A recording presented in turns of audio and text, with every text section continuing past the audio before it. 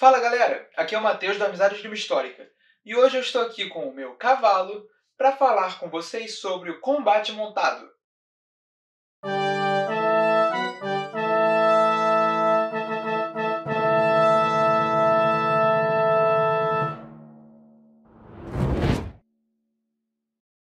Começando aqui o vídeo, bem, esse daqui não é exatamente um cavalo, mas é uma adequação, né? Eu não tenho nem espaço aqui nesse apartamento para gravar esse vídeo, quem dirá para trazer um cavalo para cá. Então, isso daqui é o cavalo, aqui está o pescoço do meu cavalo, estou montado no meu cavalo. Vamos fingir que isso daqui é um cavalo. Algumas coisas que eu preciso falar um pouquinho é que o estilo de montaria né, europeia da época medieval, você não tinha os joelhos dobrados. Quem cavalga hoje vai entender que você cavalga com o joelho dobrado.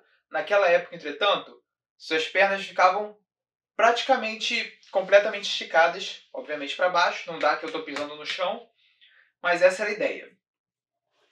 Outra coisa, claro, se cavalgava com rédeas. O que isso significa? Significa que a sua mão esquerda vai estar sempre segurando as rédeas. Ou seja, você não vai conseguir usar direito uma arma de duas mãos. Essa mão daqui ficava nas rédeas o tempo todo, então ela praticamente era inútil em relação ao combate em si, né? O que, que se fazia, entretanto? Você poderia usar algo desse tipo. É claro, como isso daqui não é exatamente um cavalo, eu não tenho muito espaço, fica difícil mostrar exatamente. Mas você seguraria isso do seu lado.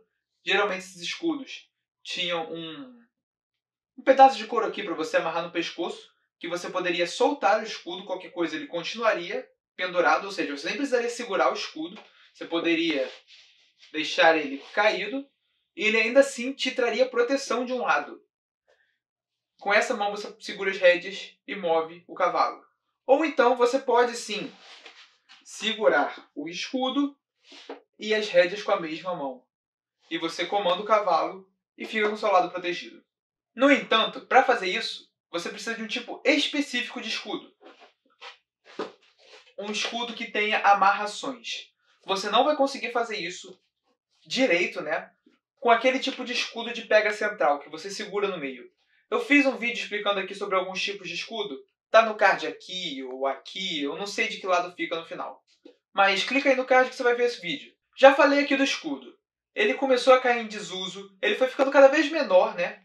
Até cair em desuso total, ou semi-total, lá por pela segunda metade do século XV, no século XVI, já praticamente ninguém usava um escudo em campo de batalha. Por quê? Porque você tinha uma armadura que o seu a sua ombreira, né? Eu não sei como é que fica o nome disso em português, mas a placa do seu ombro, ela era grande o suficiente para proteger toda essa parte daqui, que era a parte que os escudos protegiam essencialmente nessa época ou na época ligeiramente anterior, né? Os escudos ficaram tão pequenos a ponto de proteger só essa parte do corpo. Eram os escudos que você literalmente amarrava aqui no braço. Então a armadura começou a cumprir esse papel dos escudos, de proteção passiva. Começou também a colocar-se um pouco de armadura nos cavalos. Então também a armadura cumpria esse papel de proteger os cavalos, que o escudo conseguia dar um pouquinho de proteção para os cavalos. E várias armas podiam ser usadas de cima do cavalo. Em especial armas de uma mão, como essa espada. Quer dizer, não exatamente como essa, né? Isso daqui é uma espada de treino. E ela fica meio camuflada aqui com a parede branca atrás, mas eu acho que vocês ainda vão conseguir entender os meus pontos. E o primeiro deles é: tem um pescoço de um cavalo na minha frente. Eu não posso mover ela do jeito que eu quiser. Matei o bicho, matei o bicho, e eu não quero, obviamente, matar o meu cavalo. Então eu tenho que dar golpes muito mais simplistas, assim, assim, talvez assim, mas tomando muito cuidado sempre com o cavalo. Estocar é uma ótima opção, tanto para um lado quanto para o outro, mas sempre dando a volta no pescoço do cavalo, que fica aqui. E isso também significa outra coisa. Se eu estou cavalgando na direção de um inimigo, eu estou cavalgando errado, porque eu não quero que o inimigo esteja na minha frente. Senão eu não posso atacar ele.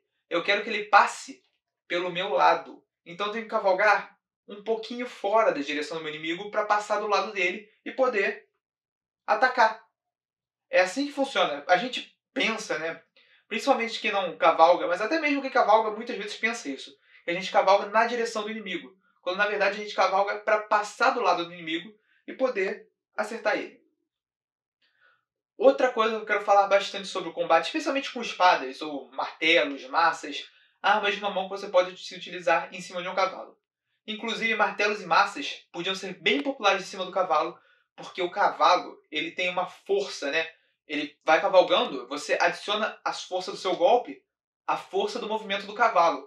Então, se você tiver com uma arma que aplica uma força grande no oponente, como é o caso da massa, do martelo de guerra, e esse tipo de arma de impacto, digamos assim, se você usar essa força para dar um golpe, por exemplo, um golpe que vem daqui de baixo, que vai acertar com o momento do cavalo, até mesmo um golpe de cima, assim, mais simples, você vai dar um estrago muito maior no seu inimigo, especialmente se você atingir o elmo, que com a espada não ia fazer grandes coisas. E basicamente todo mundo tinha um elmo nessa época. Muito difícil de você achar um guerreiro no campo de batalha sem um elmo. Mas um elmo não ia proteger de um golpe desses. Você ia, no mínimo, apagar. Provavelmente morrer. Mas é claro, a espada podia ser usada especialmente contra inimigos sem armadura, de cima de um cavalo. Espadas de uma mão, Inclusive, muita gente fala de espada bastarda, né? espada que pode ser usada com uma mão ou com duas. De cima de um cavalo, esse tipo de espada é genial. Por quê? Você não precisa de muita destreza para usar a espada em cima de um cavalo, que eu digo de redirecionar a lâmina, fazer golpes de vem para cá, vira para cá, faz isso daqui, porque você vai estar tá dando golpes simples, provavelmente em pessoas abaixo do seu cavalo, ou então mesmo que seja em pessoas cavalgando, ela vai passar por você e não vai ter muita coisa para você fazer. Vai ser algo rápido. Porque se você estiver indo na direção da pessoa e ela estiver passando, na hora que vocês passarem uma pela outra, vai ser um negócio de um golpe, dois no máximo, e vocês vão ter que dar a volta. Então, a espada ela não vai precisar ser ligeira. Então, se você pegar uma espada que você consegue usar em uma mão de cima de um cavalo, não quer dizer que você vai conseguir usar ela tão bem fora do cavalo. Porque é outro tipo de combate, é um combate muito mais ligeiro. Aqui é um combate que ele também é ligeiro, mas ele é ligeiro de outra forma, porque você tem um tempo muito pequeno para reagir, que é o tempo em que você está passando pelo seu oponente. Então, esse tipo de espada, a espada bastarda, é genial para quem está de cavalo, porque você passa né, com uma mão, caso você caia do cavalo, seu cavalo morra, qualquer coisa que aconteça do tipo, você vai, usa a espada com as duas mãos, que agora você tem as duas mãos para usar. E pronto, agora você tem uma arma que tem mais poder, porque a maior diferença é essa, né? Você consegue, através do, da alavanca né, que se forma, você consegue ter muito mais precisão e poder com a arma do que você tem com uma mão. A velocidade até muda, mas não muda tanto. Eu consigo mexer isso daqui bem rápido. Eu também consigo mexer isso um pouquinho mais rápido ainda, com duas mãos, mas não uma diferença tão gritante assim. Um outro ponto que é o que eu já falei, né? Quando você está lutando com uma espada, você o, o, lugar onde você tem o maior alcance é aqui, com o seu punho na, na, na mesma altura que o seu ombro. Esse é o, o ponto de maior alcance. Se você for lutar assim, você não vai conseguir atacar ninguém que não esteja a cavalo. Você tem que abaixar. E quando você abaixa, o que acontece? Seu alcance, ó, meu alcance aqui, abaixei, abaixei, ele começa a diminuir. Então, você vai ter menos alcance, porque você está com a mão abaixada, né? Imagina o homem vitruviano do Da Vinci. Ele está com os braços abertos assim e tem um círculo ao redor dos braços dele, né? Esse é o alcance dos braços. O alcance dos braços se move em círculo, ó. Então aqui, com ele para baixo, eu tenho menos alcance. E quem está no chão consegue, com o braço esticado, acertar minhas pernas. A gente pensa no tamanho de um cavalo de hoje, né? Geralmente a cernelha dele, que é mais ou menos aqui no pescoço, a parte que a gente monta dele, está na altura da nossa cabeça hoje em dia. Você tem uma cerne... um cavalo bem alto. Sendo que naquela época a gente tem indícios de que os cavalos tinham pouca coisa de altura mais do que a gente. A gente tinha a altura de um cavalo. Quase a altura de um cavalo. Então os cavalos eram menores. Isso sim, você passa a ter um pouquinho mais de alcance na hora de atacar as pessoas, né? Porque você não tem que descer tanto quanto você teria no cavalo moderno pouca coisa aqui de descer você já acerta. Mas também isso significa que uma pessoa que está esticando aqui consegue acertar você pelo menos na barriga, talvez na região da pelvis. Então você está em desvantagem de alcance, pouca desvantagem, mas ainda uma desvantagem, e a pessoa está com uma vantagem e na qual ela consegue acertar idealmente a sua barriga, que é um lugar horrível para ser acertado. Se ela levantar um pouquinho só que seja, levantou aqui só a ponta. Já pega exatamente no seu coração, pulmão, pode pegar fígado e vários órgãos que são muito perigosos. Então, você está em certa desvantagem em cima de um cavalo, especialmente se for num duelo. Porque no duelo a pessoa se concentra só em você. Agora, se for, por exemplo, muita gente, imagina uma fileira de 20 pessoas montada a cavalo vindo para cima de você, com uma fileira de mais 20 atrás, com outra fileira de mais 20 atrás. Não, não tem muito o que fazer. Principalmente se você estiver só ali parado, com, sei lá, uma espada que seja. Imagina você tá ali com uma espada vendo um monte de cavalo vindo pra cima de você. Já era. Tu vai tomar a porrada, tu vai morrer. Agora, enquanto só tem um, só tem que se preocupar com ele ali. Você só tem que desviar do golpe dele e contra-atacar. É muito mais simples. Até porque, quando você está numa situação de cavalo, né? Por exemplo, eu aqui. A cela medieval, ela travava as suas costas para se você tomar um golpe, você não, pum, cair do cavalo para trás. Ele te travava. Você ainda podia cair, ainda podia cair. Mas o golpe tinha que ser muito mais forte para poder te derrubar. Mas o que, que significa? que você não tem muita mobilidade. Você consegue se mover um pouquinho assim para os lados e é isso. Ou seja, a partir do momento que você passa da pessoa, você está em muita desvantagem. Porque, ó, eu estou tendo que olhar para trás enquanto meu corpo está virado para frente para me defender. E se eu passar com ele à minha direita? Se eu passar com ele à minha esquerda é pior. Porque eu tenho que virar muito mais. Olha o quão virado eu tô. E o meu alcance com a arma diminui muito. O meu alcance máximo para esse lado, basicamente, é da guarda para cima, né? Porque a cabeça da pessoa estaria aqui no máximo. Então, a cabeça da pessoa estando aqui, esse é o meu alcance. Agora, aqui, eu nem consigo esticar tudo, né? Aqui, a cabeça da pessoa estaria aqui. Olha quanto aumentou o meu alcance. Meu alcance aumentou basicamente do meu cotovelo até a guarda aqui da espada. Um pouquinho mais, na verdade. Então, a pessoa estando na sua esquerda, principalmente atrás de você, é um problema gigante quando você está a cavalo. A sua direita também é um problema, ela está atrás de você. Mas é um problema menor. Então, se a pessoa está a pé e ela bloqueia o seu primeiro golpe, ela tem um milésimo de segundo ali, um tempo muito curto, mas um tempo que você não vai conseguir de jeito nenhum acertar ela e ela vai conseguir te acertar. E vai existir isso, porque você não vai ficar parado com o cavalo lutando contra a pessoa. Porque senão é muito simples, ela só tem que defender os golpes de cima. Ela faz uma guarda aqui assim, pronto, tu não passa. É pouca coisa que ela tem que ajustar para os seus golpes. E aí, pum, acertou a anca do seu cavalo, o seu cavalo vai pular, você vai cair de cima do cavalo, vai ficar no chão estatelado. Pum, acabou. Você morreu. Então você não quer ficar parado lutando de cima de um cavalo com uma pessoa a pé. E se movendo, você tem esse momento, você sempre vai ter esse momento que você vai passar pela pessoa e se ela bloquear o seu golpe, que de novo, ela sabe que vai vir de cima, né? Mesmo se ele vier nesse ângulo aqui de baixo, ele vai vir na altura da cabeça da pessoa. Então é só a pessoa fazer isso aqui. É bem simples. Você pode tentar fingir estocar ali e aí a estocada passar por aqui, por dentro e acertar ela. Sim, mas se você fizer isso e ela perceber a tempo, é isso daqui para desviar essa estocada. É um movimento ridículo.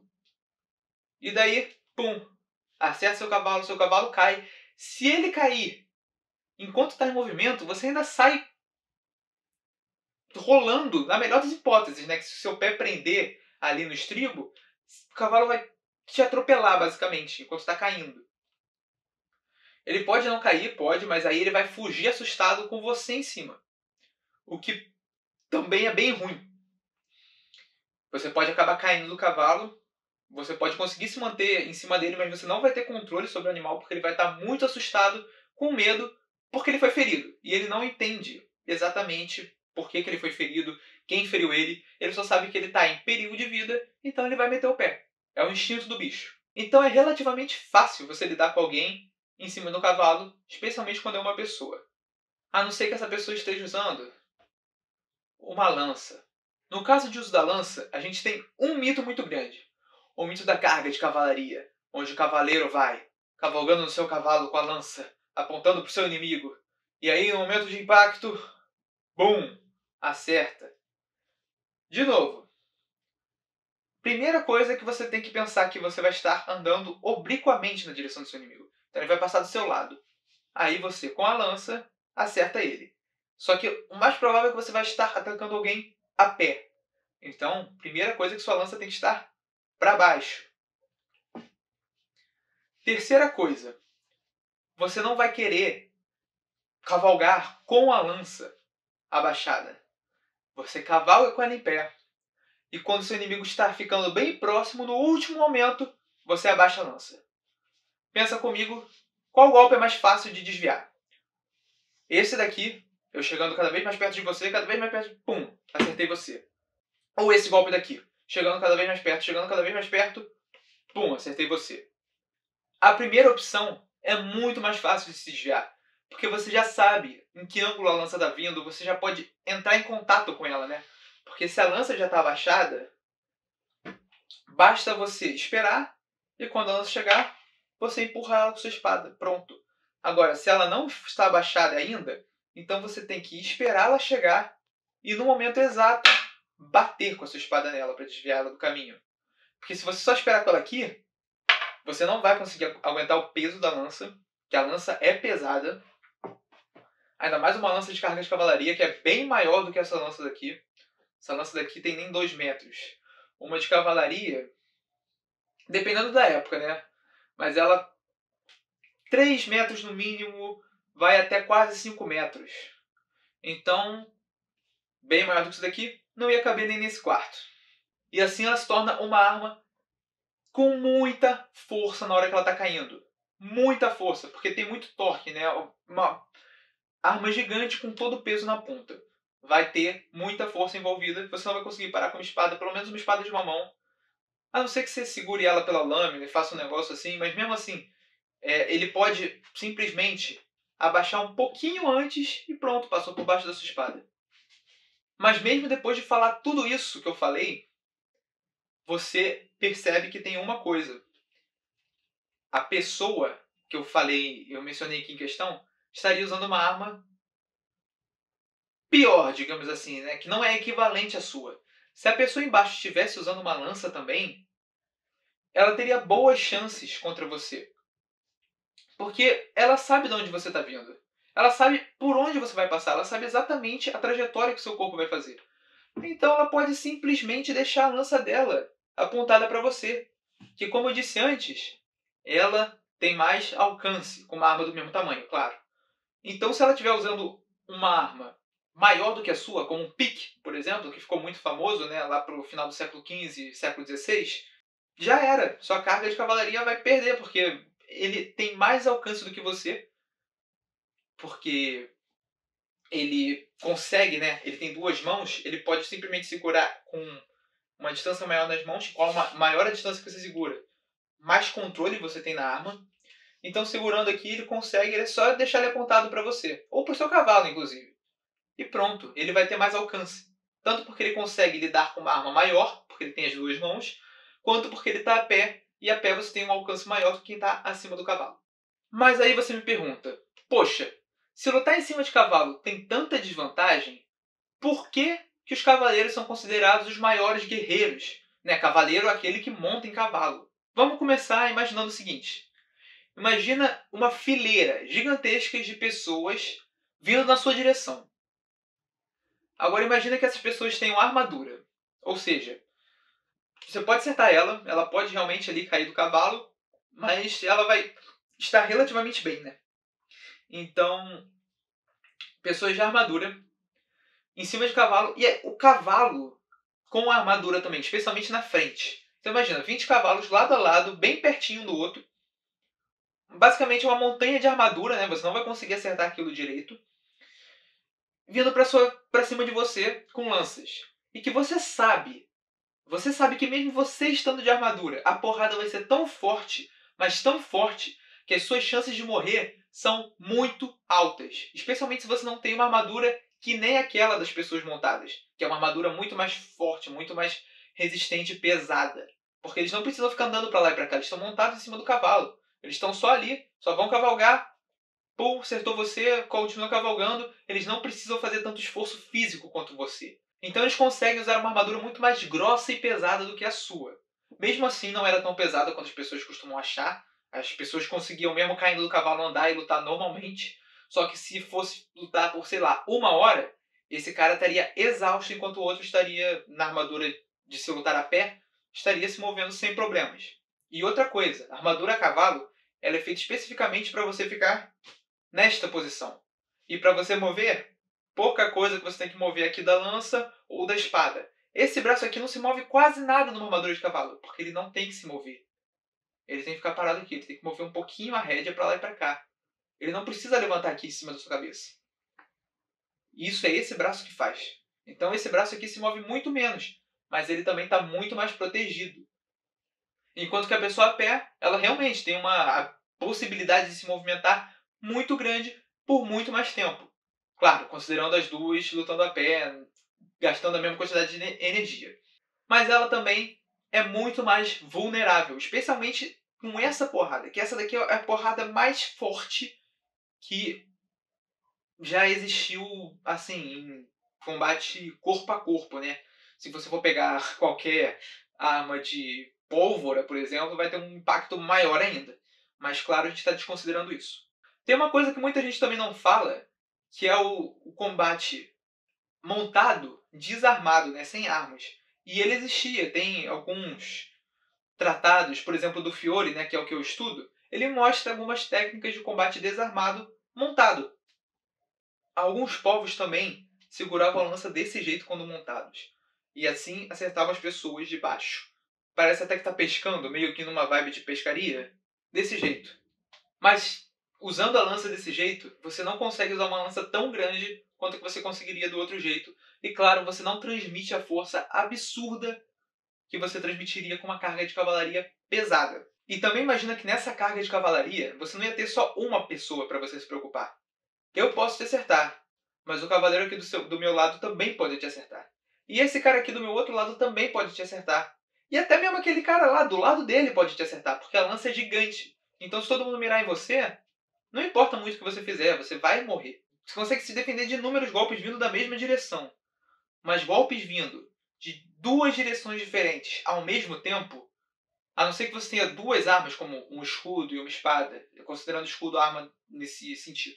Ou até espada e espada, duas armas. Você não vai conseguir se defender de dois, ataques vindo em duas direções. Em três, meu amigo, você não tem três braços. Então, mesmo que você tenha três armas, quatro armas, cinco armas, que eu nem sei como é que você estaria segurando, né? Você não ia conseguir se defender. Esse é o perigo de uma carga de cavalaria. E a segunda coisa é que mesmo que você se defendesse, você não tem para onde se mover. O cavalo vai passar por cima de você. Porque na carga de cavalaria, realmente, a carga vai e atropela. Então, tá, você conseguiu derrubar o cara do cavalo, você atacou ele, ele caiu do cavalo, e aí? O cavalo vai passar por cima de você. E por isso a carga de cavalaria era tão eficaz na Europa. Já um duelo, um cavaleiro montado contra um cavaleiro a pé, não é a mesma situação. Como eu já falei antes, tem um vídeo aqui no card desse, desse lado, sei lá, em algum desses lados aqui tá aparecendo um vídeo no card. E ele fala sobre a diferença de guerra e duelo, né? Porque tem uma diferença enorme. Então, eu falei sobre os cavalos, eu falei sobre as espadas, massas, martelos, enfim. Falei sobre as lanças, falei sobre a situação em um duelo, tanto com lança quanto espada. Falei sobre a situação em guerra, que aí geralmente é com lança. E eu acho que foi tudo. Se você ainda ficou com alguma dúvida, comenta aqui embaixo que eu respondo. Dá um joinha se você gostou do vídeo, se inscreva nesse canal para mais vídeos como esse. Eu vou ficando aqui com o meu alazão. Até a próxima. Tchau!